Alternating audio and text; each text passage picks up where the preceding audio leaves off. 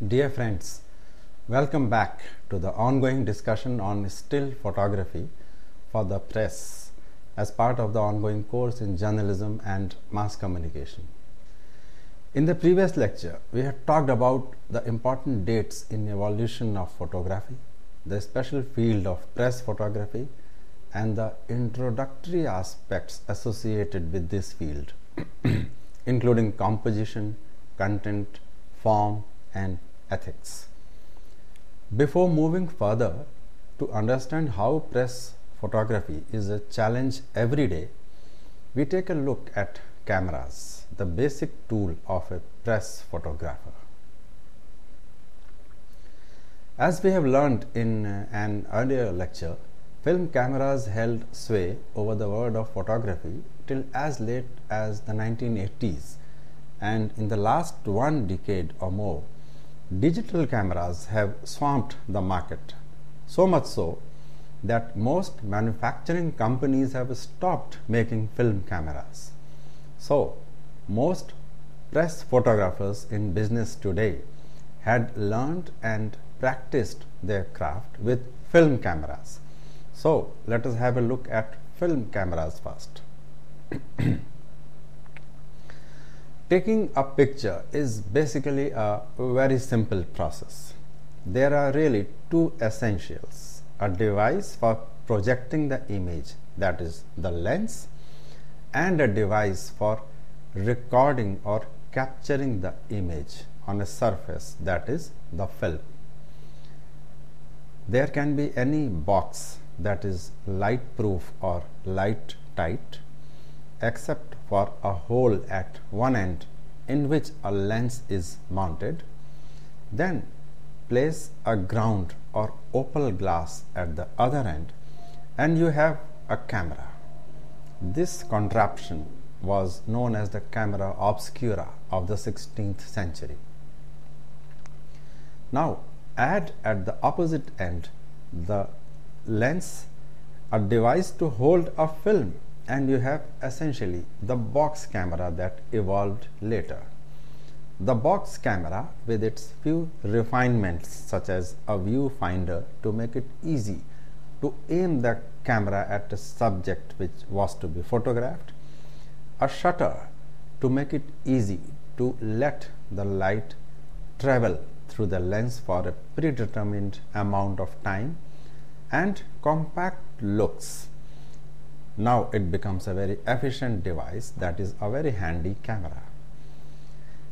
In early years, when film cameras started becoming common, press photographers needed a camera of greater versatility. That means camera which could accept a film of a number of different types and kinds, which could be quickly and accurately focused for anything from close-ups to extreme distance shots, a camera which could take lenses with diaphragms adjustable over a wide range of distance, a camera which could have shutter speeds from 1 second up to at least 1 upon 400th of a second, a camera which could be accurately and conveniently synchronized with a flashlight and of course a camera which could if possible accept a number of different lenses. So now if all these qualities were put in a camera it was the ideal device for at least the press photographers who always needed something to take photographs on the move. The film thus exposed had to be developed in a dark room using specific chemicals. Then the photograph had to be enlarged and printed for approval from the editor or the photo editor and then it was to be given to the process department for further processing like plate making. Just as there is no universal camera, a camera that is all things to all cameramen, so there was no universal press camera.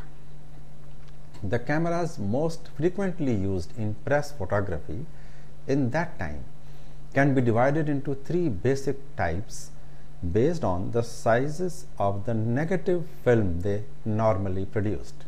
So the three kinds of cameras were the 4 into 5 camera, the 120 camera and finally the 35 mm camera. Big cameras were standard in news photography during the early decades of the 20th century. A favorite was the camera model known as Graflex, first offered in two sizes in the year 1902. One producing a 4 inch by 5 inch negative and the other a bigger camera producing a 5 inch to 7 inches of negative. From 1907 to 1923, the press Graflex, a 5 into 7 camera, was the most widely used in news work all over the West and in other countries. This camera used glass plates but could also use a sheet or cut film which was introduced around the year 1915. The speed graphic camera, somewhat more versatile and more convenient to operate, was introduced in the year 1912 and it eventually succeeded the Graflex as the camera carried by most newspaper photographers.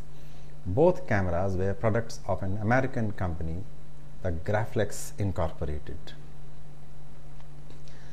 But early in the 1920s, a new kind of camera appeared which was to have a profound influence on news photography. Designs were perfected for small, compact cameras that could easily be held in the palm of one hand, and lenses were produced for these so called miniature or very often termed candid cameras with a greatly increased light gathering power. Using one of these cameras fitted with a fast lens, a photographer could operate inconspicuously and in unfavorable light. In fact, in earlier years, the press photographers could be recognized from a far distance because they carried those big cameras with big lenses and big boxes and later on when these small candid cameras appeared on the scene one couldn't make out when a photograph was taken and from where. So we now arrive at a stage when the 35 mm camera, cameras had started becoming popular. The 35 mm or a miniature camera actually looks like a toy alongside the massive 4 into 5 of the early eras. It is true that large number of newspaper photographers have turned to the 35 mm only after the 1940s or only after the Second World War. But some photojournalists, particularly those in the magazine field, we are using this camera a decade or even two decades earlier around 1930, newspaper photographers experimented with the 35 mm, attracted by its ability to produce negatives under difficult lighting conditions. But three factors worked against the 35 mm camera. Number one, the grain that appeared in enlargements, the impracticability of fast processing of the film to meet deadlines and the introduction of the flash bulb which seemed to obviate the need for fast lenses. Since the Second World War, newspapers turned to the 35 mm because speed processing had by then become practical with film and developers that kept grain well within acceptable limits. In addition, faster films and a desire for realism had to a considerable extent deposed the flashbulb and the electronic flash. The first 35 mm camera was the German made Leica brand introduced at the Leipzig Technology Fair in 1925. It was originally designed as a still camera for testing 35 mm movie films. Since then, 35 mm cameras have become commonplace. For newspaper work, a 35 mm with interchangeable lenses became a must everywhere. The 35 mm camera may also be termed as a reflex camera. So the photographer focuses and uses the viewfinder directly through the lens itself or it may be a coupled rangefinder design with the lens focusing automatically as the rangefinder is operated. A wide range of black and white and color film materials was soon available in the 35 mm size and it soon became most economical of all, especially on a per picture basis. The number of exposures on a 35 mm film ranged from 20 to 36 per roll at the maximum. In fact, this number was as much as three times as available to somebody who was using a 120 camera. The 35 mm also offered the fastest lenses available and thus the greatest chances for success with poor light when the flash was prohibited or it was undesirable. And the 35 mm also offered flexibility through many accessories such as interchangeable lenses ranging from 21 mm that is extremely wide angle to 1000 mm that is extreme telephoto. We will explain these terms later. The normal lens that is the 50 mm of the 35 camera gave a tremendous depth of field.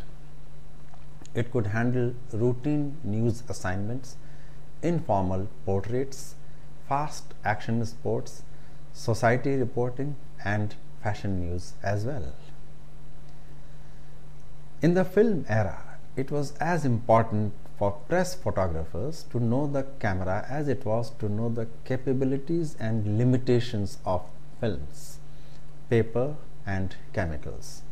For professional photographers, darkroom experience was a must, even though they might turn their film over to a specialist for processing, but they needed to know the technicalities. Of the whole radiation spectrum, our eyes are sensitive to only that small part we call light, ranging from blue, the shortest wavelength of the visible spectrum, through increasing wavelengths to the red color. we cannot see cosmic rays, gamma rays, X rays, ultraviolet rays, or infrared rays, or heat rays, or the waves used in radio broadcasting, which fall beyond the visible range of the light spectrum. The silver bromide crystal normally has an even more limited sensitivity, absorbing only the blues at the short wavelength of the visible spectrum plus the invisible ultraviolet rays. This is apparently because the shorter wavelengths have greater frequency and thus greater energy. So, the chemical films which were used in the film rolls were basically compounds containing silver bromide and refinements were introduced over a period of time to make the film faster means they could absorb lights at a much faster speed of time and in a much lesser amount of light. So, there is this short uh, thing about film developing. Film developing meant using the right amount of chemicals that is the silver bromide combinations and water for the right time for developing the negative print into a positive image. The three major factors in film development with which the photographers had to be familiar included contrast, grain, and density. important factors in developing film were temperature, time, and the degree of agitation with which the pan containing the film under development, liquid, chemicals, water, and um, another range of uh, chemicals were mixed and it was shaken or agitated so that the impression on the negative turned into positive. All this work was done in a dark room with a very faint red light being available for the operator to see what he was doing because the red light did not get registered on the film which was being developed. So, now we have a look at the camera components. the first essential in photography as we just understood is formation of an image and in truth an image can be formed without a lens also. The lens in fact collects a bundle of light rays coming from a single point source, redirects them by refraction so they come back together at a new point on the film, thus giving us both greater light gathering power and a sharper image. Lenses are actually so designed that light rays originating at a single point will be refracted just the right amount to bring them back to a single point behind the lens at the film if we have focused correctly. So, a lens basically captures those images that are coming from outside and transfers them onto a surface where the film is already mounted and the image is captured on that chemical coated film. One important thing, in fact, the first important thing to be learned when we are talking about lenses is focal length. What is focal length? When we focus a camera, we change the distance between the lens and film until all the light rays intercepted by the lens from a given point on the subject converge again on the surface of the film. As the subject moves closer to the lens, the distance between the lens and the film must be extended. As the subject moves away from the lens, the distance between the lens and the film must be decreased if we are to stay in focus. But as the subject continues to move away, we find that we reach a point where further contraction of the lens film distance is no longer needed.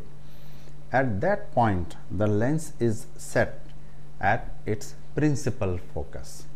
So, in effect, we have already focused the lens at infinity because the distance cannot be measured any longer.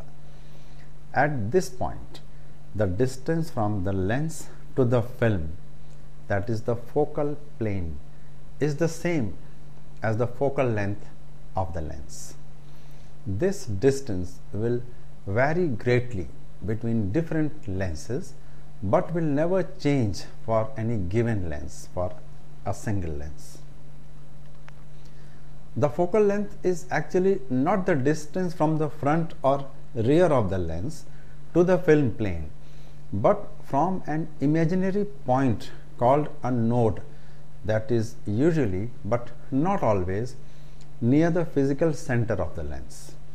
The focal lengths of lenses are mentioned on the camera in figures such as 7 upon 4.7 or 135 mm or 1 is to 35 f is equal to 75 mm.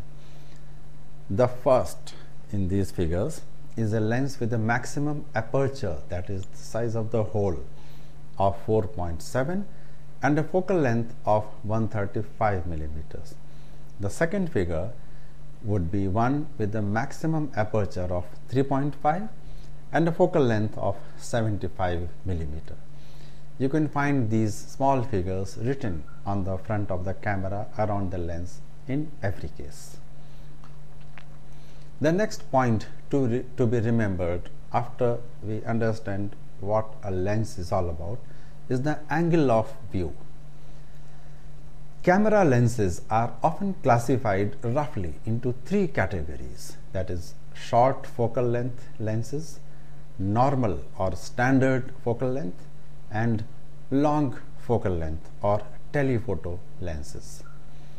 News photographers frequently use cameras fitted with lenses which are short that is less than normal in focal length. Short focal length lenses are usually referred to as wide angle lenses just as the long focal lengths are often given the name telephoto lenses. So this is how we come to the point when interchangeable lenses started being used. It was in 1959 when two German firms, Voigtlander and Zoomar, announced the result of a joint project to manufacture a variable focal length lens for 35 mm still cameras of the single lens reflex design. This was known as the zoom lens and this zoom lens continues to be used throughout the world by all kinds of photographers even today. So first we come to the wide angle lens. The wide angle lens is a short focal length lens that is a length with a, a lens with a focal length shorter than the diagonal of the negative it is designed to cover. Its advantages are that it sees more at less distance and offers increased depth of field at any given lens aperture. The most frequently used wide angle lens with 35 mm cameras is the one with a 35 mm focal length. The second is the long focal length lens. The most commonly used so called tele lenses in the 35 mm field are those with focal lengths ranging from 75 mm to 135 mm. But the longer the focal length, the bigger, the clumsier, and the heavier become the lenses beyond the 135 mm range. And these lenses generally cannot be focused with the coupled range finder. With the really long lenses, the photographer will usually find it advisable to use a tripod to hold the camera steady. Now you must be recalling the sports photographers and the specialist photographers with their cameras and the long lenses fitted in front of them. These are actually the telephoto lenses. So, after this brief introduction to what lens is all about, we come to the next point that is the aperture. To control the incoming amount of light and its exposure onto the film, we must control the light which strikes the film. One way in which we can control the light is by varying its intensity at the film plane.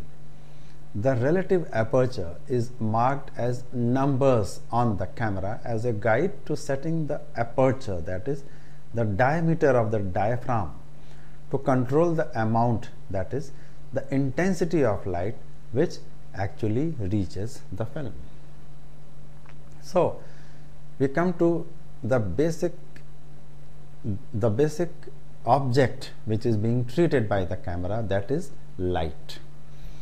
Light it is something which the photographer must have and light is something the photographer must control.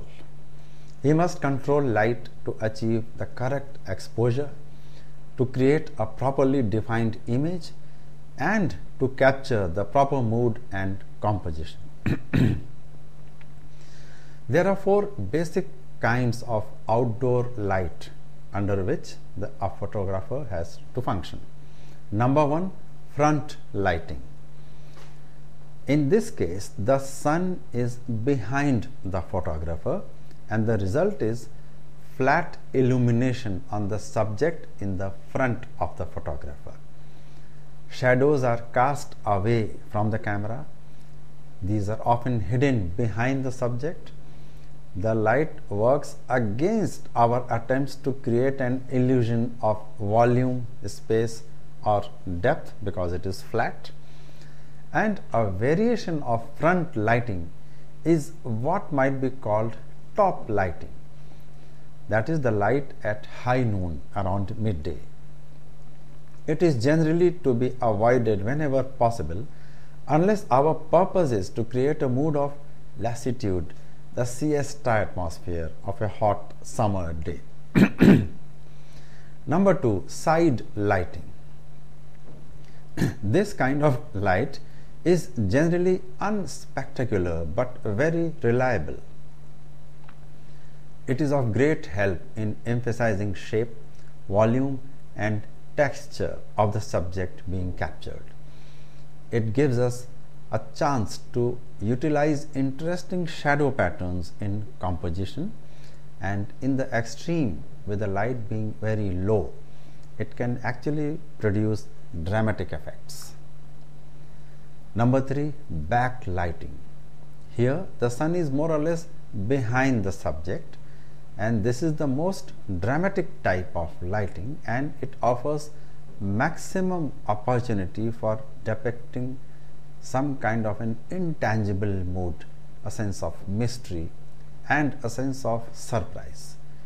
And therefore it is also the most difficult to be used successfully because the photographer can find it difficult to avoid the source of light that is in front of him. And the subject has to hide the source of light. And the trick is to ensure that the subject itself does not become dark. Number 4 diffused lighting. This form of lighting lacks one strongly centralized source of light. It is soft and low in contrast. In outdoors, it occurs on overcast or cloudy days, in the shade, or just before dawn and after sunset. Generally, it is considered to be a good form of lighting for close ups and portraits. Then we come to having artificial light that is lighting with flash. Invention of the flash bulb in 1929 revolutionized press photography. It meant that the photographer could carry his own light with him anywhere and it gave him a control that meant greater assurance of getting the right picture anywhere, anytime. The flash bulb actually succeeded the magnesium flare and the flash pan. With the magnesium flare that was used in earlier days, it was a sort of a blow gun in which the photographer blew through a hose connected to the handle of a meta torch.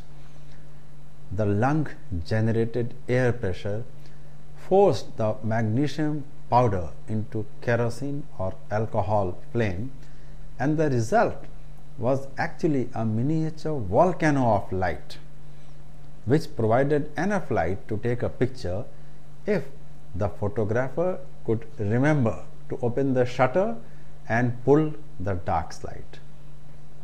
The flash pan was a slight improvement. A powdered mixture of magnesium, potassium chlorate, and antimony sulfide was sprinkled along the length of a narrow pan which the photographer held over his head a spark set off the powder to give an explosive flash and a more pleasing and diffused light than the earlier flare. But the flash pan, as you can understand, was about as dangerous as the magnesium flare and as difficult to control. A number of photographers were seriously injured, some losing their hands in flash powder explosions, and in due course of time, it led to a ban on the use of powder by some newspapers. A company of Germany known as Johannes Ostermeier experimented with putting thin aluminium foil and oxygen in a glass bulb with a small screw base to fit flashlight bulbs. The photographer now had his light under control, usually unless the bulb exploded. Improvements quickly followed, and flash bulbs over a period of time became smaller, more efficient, less likely to explode, and ways were found to synchronize the flash with the opening of the shutter and to integrate the flash and the camera in one compact unit. Then, less than 10 years after the introduction of the flash bulb, came the electronic flash for photography, developed around the year 1937 by Harold Edgerton of the Massachusetts Institute of Technology in the US. This great development freed the photographer from the burden of carrying a supply of expendable flash bulbs wherever they went and gave him a light of such brief duration that he could stop a bullet in mid flight. Later, electronic flash was designed and is now integrated into the camera mechanism itself. Another important component of the camera of earlier years is the filters. In fact, three useful filters are especially used in press photography the medium yellow filter, the orange filter, and the light green filter. The yellow filter darkens and dramatizes a blue sky, builds approximately correct contrast between white clouds and blue sky, and also minimizes skin blemishes in portraits. The orange filter darkens a blue sky even more, gives dramatic sky cloud contrast, and will cut through smoke but not haze to a noticeable degree. A green filter, on the other hand, is excellent for many scenic shots, increasing the foliage detail, darkening the blue sky, and at the same time giving a good rendition of skin tones.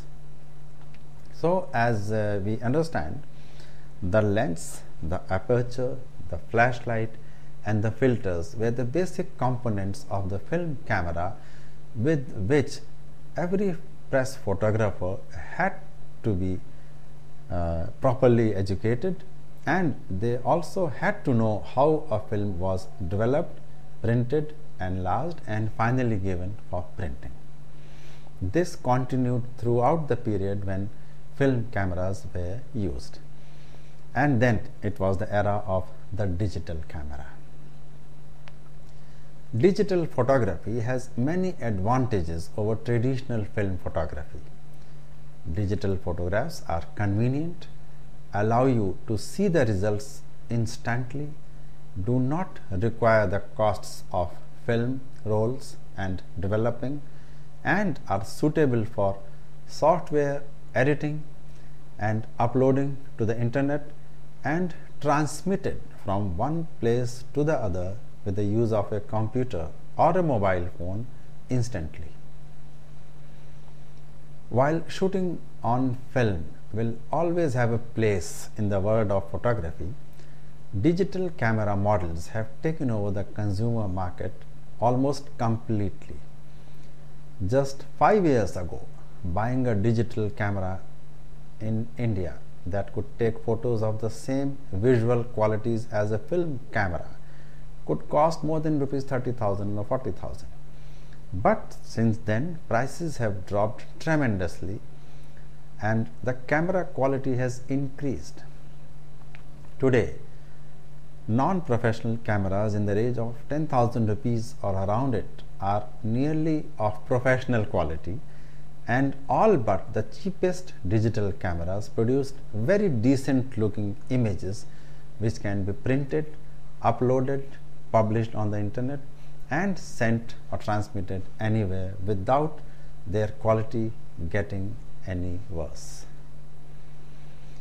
There are many additional features available on digital cameras, including image stabilization, onboard image editing, image recognition, facial feature recognition, color correction functions, auto bracketing, and burst modes. A lot of these can be handled by image editing software and so they can be unnecessary and often inferior when built into a camera. The burst mode, the macro mode, and image stabilization are probably the most useful extra features. But the best way to find out which camera is best for you is to explore any of the numerous digital photography websites and magazines that offer comparisons and user reviews of hundreds of different cameras today. So, for anyone wishing to venture into the field of press photography or any kind of photography today, the digital cameras are the best option to go for. In any case, the film cameras are hardly used anywhere and the facility for developing and printing the film roll is becoming rarer in most cities. There is something called the megapixel ratings in the case of digital cameras. Let's see what this is all about.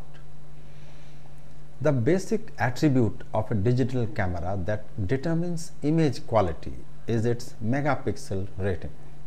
This number refers to the amount of information that the camera sensor can capture in a single photograph.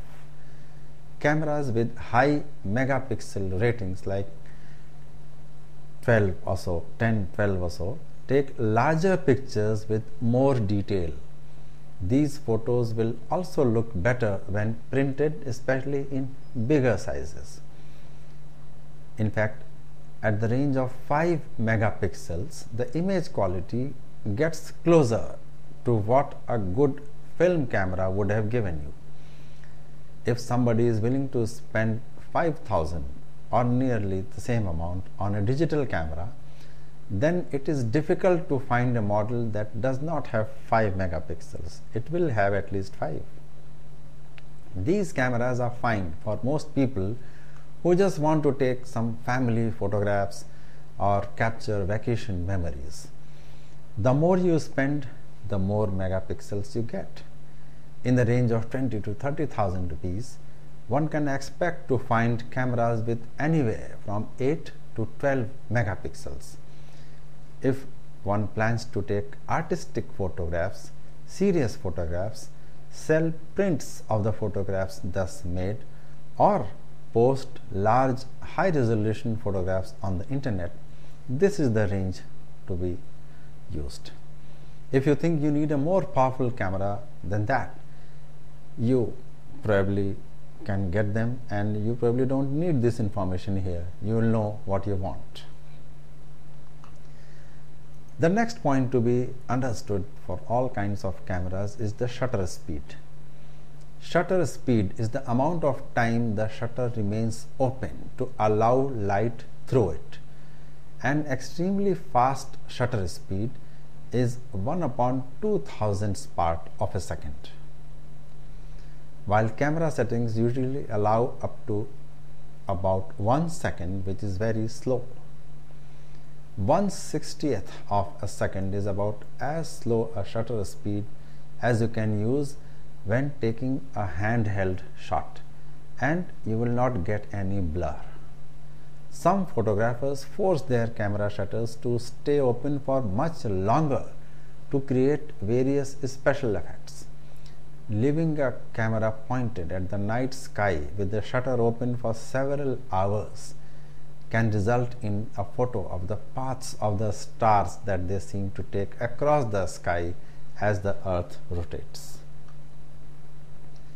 Practice and experience are the best ways to figure out which combinations of aperture and shutter speed are best for different kinds of photographs.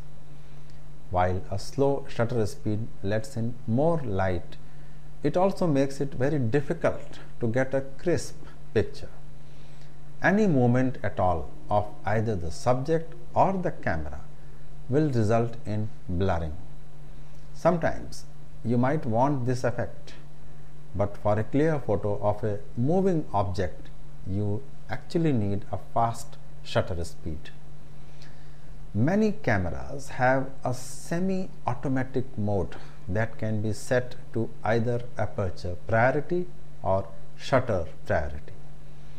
You can either set the aperture or shutter speed depending on which priority mode is enabled to the desired setting and the camera calculates the right setting to accommodate the lighting conditions. The camera might also have a variety of modes to choose from such as sports mode or outdoor mode or close-up mode. These are actually aperture and shutter speed presets. Again, experience will let you know what conditions are right for each mode. So, now we come to the point to ask ourselves how to take good photographs. Taking photographs with a digital camera follows many of the same techniques that make for successful film camera photographs. However, the digital cameras differ in a few important ways. There is usually a lag between the moment you press the shutter release button and the camera takes the picture where for the most expensive models.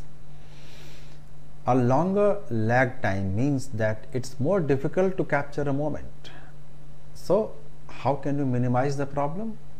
Number one, set your focus ahead of time when using autofocus, pressing the shutter and releasing it halfway tells the camera to focus on in your target. You might have to wait for a few seconds with that button halfway down, but when you finally take the picture, the camera won't have to waste time to focus itself. The second trick is to use manual exposure settings it takes time for the camera to calculate exposure settings in a full automatic mode. So, you, you could set them manually whenever you can. Thus, the lag will be reduced further. Next is do not use flash unless it is absolutely necessary. The time it takes to charge the flash can create an additional lag. If you need a flash, consider using an external flash unit so that you can reduce the lag and keep the camera ready immediately for taking a second shot. Another trick is to use the viewfinder instead of the LCD screen at the back of the digital camera. This will save your batteries and reduce the amount of work that the camera's mechanism has to do. Another point is to reduce the image quality. In fact, digital cameras allow you to adjust the size and resolution of the photographs you are taking. Huge or uncompressed photograph files will look great, but they might create a time lag. If you are trying to capture action shots, try a lower quality setting with smaller images obviously you are sacrificing large high resolution images but it will increase your chances of getting the shot you wanted. Experiment must be made with the camera settings to find the right balance between image quality and shutter lag. Another trick is to use the burst mode. If your camera offers a burst mode it is a great way to get the precise moment you are shooting for by taking a series of quick photos over the course of a few seconds. Depending on the camera, the burst mode, that is a continuous mode, it may require a compromise in image quality, but it will definitely offer a longer choice, a greater choice from which the best photograph can be chosen. So, the next important aspect is choosing a subject. Press photographers are aware that the world is full of attractive sights and scenes which have only to be discovered and recorded without intervention on the part of anyone. The reporter must only fully adapt to the conditions determined by the natural structure of the real world. His contribution is that in the given situation, which he correctly assesses as quickly as possible, he finds the most suitable position, providing the most eloquent picture from the viewpoint of communication on the given subject. It is expected that he will also attempt to have the picture achieve an aesthetic impact as well. These are the main tasks placed on anyone who tries to set down in a truthful and dynamic way to events to which he was a witness. Press photography actually has a very glamorous image based largely on TV documentaries and films about larger than life paparazzi photographers. Paparazzi, in fact, is the Italian word which literally means buzzing insects. These paparazzi photographers have a job to capture images of celebrities for the national newspapers, gossip magazines, entertainment magazines, and so on. Largely, they are freelancers not employed by any one company and they go about their work wherever possible, wherever they can, and they try to sell the photographs of candid moments taken from hidden points and many times often invading the privacy of the celebrity and they try to sell those photographs to the highest bidder. But the vast majority of press photographers are skillful diplomatic people who work under pressure to capture the best possible images to document events, tell a story, meet the picture editor's deadlines, and help in making the image of the newspaper as well as making it successful. Among the areas they are supposed to cover are court proceedings to business stories, inauguration of public facilities such as hospitals and parks, city gatherings, and those who are experienced enough, it could include sports and politics in addition to entertainment and fashion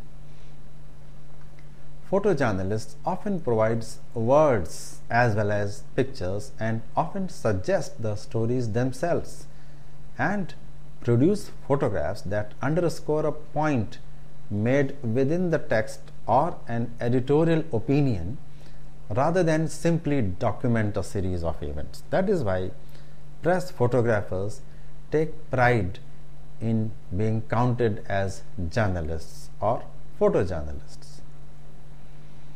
So, press photographers produce photographs of current events and the people involved in them on a daily basis for national or local newspapers, news magazines, and press agencies. Images are invariably shot on location using handheld digital cameras with a portable electronic flash. Newspapers and press agencies keep abreast of the upcoming events. So, a great deal of press photography can be scheduled in advance. However, publications do organize work in shifts so that photographers are always available and ready to cover any breaking news story. The news editor decides which stories are to be covered while the picture editor decides how many images will be required and he briefs the photographers on the type of shots he is looking for. The photographer may take a variety of shots but will generally be expected to present four or five usable pictures for each news story. they are usually under pressure to get from one location to the next and must therefore be organized and efficient. Press photographers working for organizations or local newspapers need to have the ability to make the commonplace or very mundane event appear interesting and therefore one can always hear them talking about looking for a fresh angle to a routine subject. In view of all this, very often the proper setting of a subject does not last long and what is needed therefore is a swift reaction and presence of mind on the part of the photographer. While most photographers certainly recognize the importance of the decisive moment, they do not reject additional changes in the final enlargement or while submitting the final photograph. On the other hand, there could be situations where the photographers have to especially create a subject to be photographed, such as a landscape, a building, a river, garden, flower shows, and so on. In such cases, they do not have to hurry. The subject is not going away anywhere or not even moving about, and they can pause and ponder as to which angle would be the best. Both methods, the first often referred to as taking photographs and the second referred to as making photographs, can produce good results on conditions that the chosen path corresponds to the photographer's inclinations and the character of the subject matter. Quite often, one and the same photographer alternately uses each method according to the way he approaches an assignment. It should be added that there are somewhat exceptional photographers who hold hard and fast to either of the two methods, taking photographs or making photographs. And this choice is tied to their own personal philosophy for the profession. So you cannot fault them either. Press photography, for most part, belongs to the taking photographs category and we shall confine our discussion to choosing good subjects for news photographs.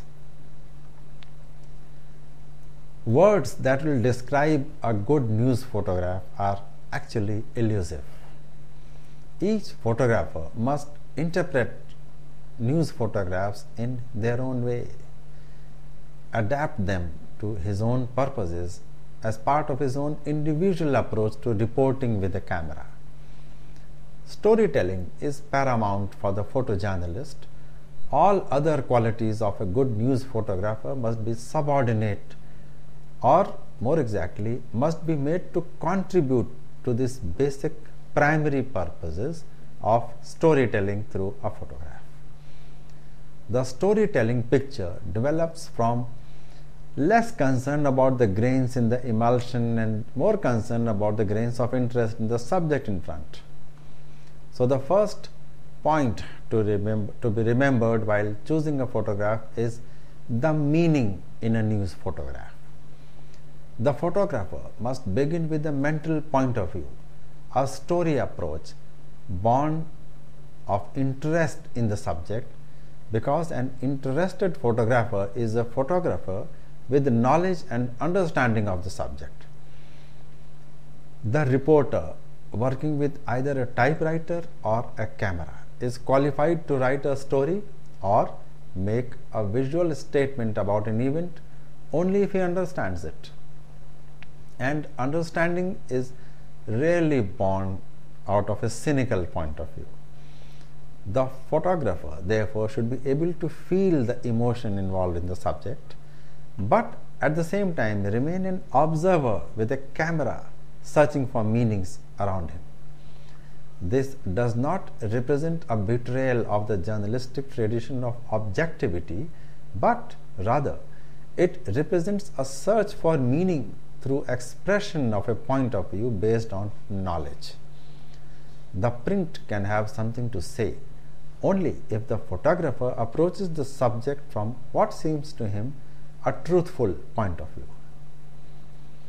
One of the major advantages of photography is that it is a universal language and the fact that it gives the viewer a feeling that he is getting a glimpse of reality. Some press photographers are still doing violence to this concept. Cameras don't lie, but photographers can, and sometimes they do. The cameraman's judgment on point of view, perspective, posing, lighting, and timing may often result in a picture that does not conform to reality. The cameraman or the photographer often faces the same temptation as the print journalist the temptation to emphasize the dramatic, the highlights, perhaps the one small moment of open conflict, and both are guilty of distortion if they emphasize the sensational rather than the merely significant. Both can emphasize or play down whatever they please. And if they approach the subject with a biased mind or with a determination to search out something sensational, the result in all probability will be a distortion or a lie. At the same time, the technique of candid photography can lead to false reporting unless the cameraman realizes that a fraction of a moment in time does not the, represent the whole truth about an event. Any person in the news can be made to look foolish by the candid photographer lying in wait just for the right moment of an unflattering gesture or expression but it will not be an overall comment on the situation being photographed. So, meaning is essential in news photography, but it must be meaning based on honest reporting. And the camera, no matter what its automatic features, can never be a reporter.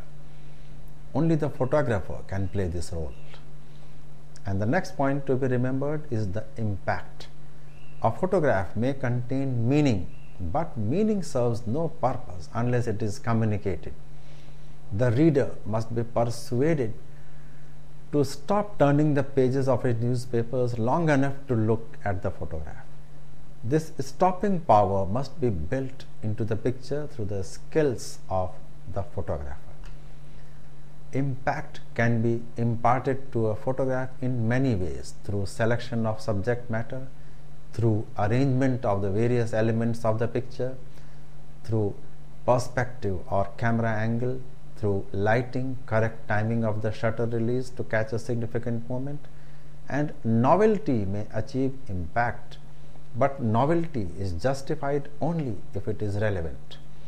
The answer lies in the ability to see reality from a viewpoint that the unimaginative may have overlooked most often impact in a photograph comes from animation. A still photograph actually can convey a feeling of action if a photographer is skillful enough to time his exposure in such a manner that the resulting photograph conveys a sense of movement that actually preceded and followed the moment the shutter was pressed. In fact, animation or expressions may also appear in human faces in the emotions mirrored on it or it may appear in still photographs that picture the reaction between individuals looking at each other or between one individual and the situation in which he is depicted. Human emotions are basic in news reporting of many situations and they can be conveyed by the skillful writer or the skillful photographer. The element of unity is the next, that is, unity of all elements within a photograph having a unity of purpose. The shapes, lines, areas of light and shade must contribute to that purpose. Inexperienced photographers tend to include too much in a photograph, but it is the same like inexperienced writers trying to crowd too much within a single sentence. The result is the same in both situations a vagueness and a failure to communicate. The photographer must reduce his picture to the fewest possible elements that will contain the essential meaning of what he is trying to say. And when distracting elements remain, he must use his technical knowledge to subdue them as much and as far as possible to get a well composed photograph which conveys its message without ambiguity. Composition actually is another word for unity, but it must be kept subordinate to meaning in photojournalism. A photograph that exists only for its pleasing arrangement of subject matter has little reason to be used in print photo, print journalism or in a news publication. In news photography, the function of the composition is to support and clarify the meaning. In a posed shot, the subject can be arranged and rearranged almost at will. Inanimate objects used as props to support meaning can be moved about or removed completely. But many photojournalists prefer to intrude upon reality as little as possible. This means a minimum of changes in the subject itself. The photographer then falls back on other devices such as point of view, perspective, contrast, and format. In point of view, the matter of concern is the relationship of the foreground, background, and the principal subject. Choosing a subject in action or movement related events is actually not much in the control of the photographer. The point is to have a subject that is out of the ordinary yet belongs to an ordinary situation. We will conclude our discussion at this point and in our next discussion we shall take the subject further on choosing a subject for news photography. Till then, thanks and Best wishes.